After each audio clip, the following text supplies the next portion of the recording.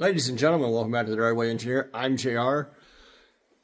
Today, it is colder than a pimp's heart, but it's not so cold in my heart.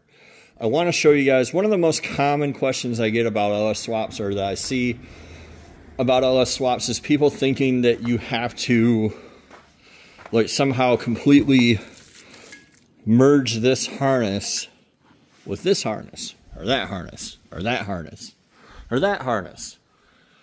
Um, I want to show you how to make your gauges work with your swap. And this is for any vehicle in the world. I'm going to use the ones that I have here on hand as examples. This is Daryl.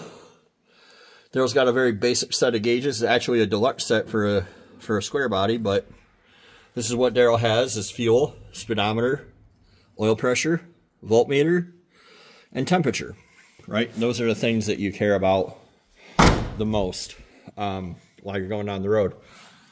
Toyota has basically the same, different configuration. That truck doesn't have anything but idiot lights. Um, same with the Dodge. But as long as you remember that the senders don't care what engine they're in, you're in pretty good shape. And basically, all you do is take all of your senders and adapt them to the LS stuff. So back of the LS engine. That's your oil port. This is the rear of the intake. It's right down there. It's easy to see right now. You pull this out. The PCM does not need it. You take it out. I believe that's an M14 fitting, but I'll put the size up on the screen exactly. You adapt it to your oil filter or oil pressure sending unit size. Daryl literally has the same can that's on this thing, the same can with one single tab sticking off of it. Um, this on that 350 in the K20. It doesn't matter if it's this Toyota, whatever your sending unit is. Let's see if I can get you back there. Um, there it is. You adapt your sending unit to the oil threads on this one, and that's it. You're done and you you just keep your gauge wire. You just hook it right back up. Take your sending unit out of your old engine and put it in the LS. Uh, on the side of the cylinder head, coolant temp sensor. So if you have a GM, this one's a two wire. Uh, if you have a GM, you can do a cool trick and you can use an LS1 sender which Daryl has. Does it? Did I change it? Let me get you in there.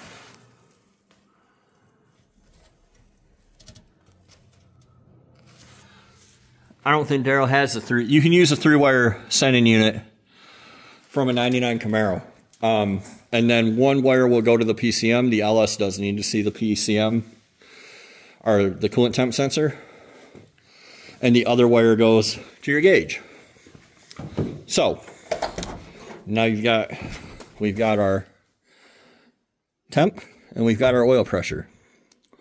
What do we do about our volts? That's pretty easy. You hook your voltmeter wire up to your alternator on the stud on the back, right there.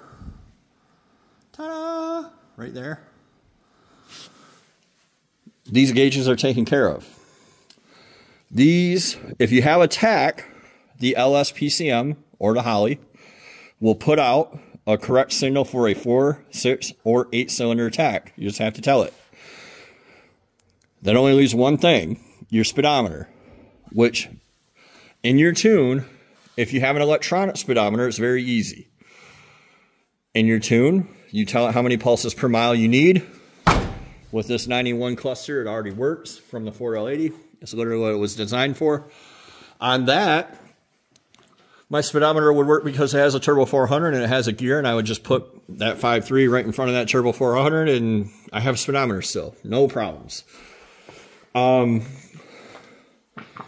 where you get a little sketchy and a little tricky is if we decided we wanted a 4L80 in here we don't have, and we have the mechanical, I can't find a 91 speedometer, I don't want to pay for it, then you have to get like a gear generator box and they're kind of expensive. Dakota sells them. I think Jards that Run sells them. They're a few hundred bucks and they're kind of not worth it in my opinion. At that point, what I would do, what I did with the Toyota is uh, one of these eBay GPS boat speedometers. This one's digital, but they make them they make them with a needle, a swept needle, just like a normal gauge. You can't tell them apart. It would fit right in a square body dash. Um, they, they have a little lag when you start up, but otherwise they work fine. And that's what I would do. Um, that's it. That's it for your gauges. If you have any questions, let me know down below. Real easy. Doesn't have to be very complicated.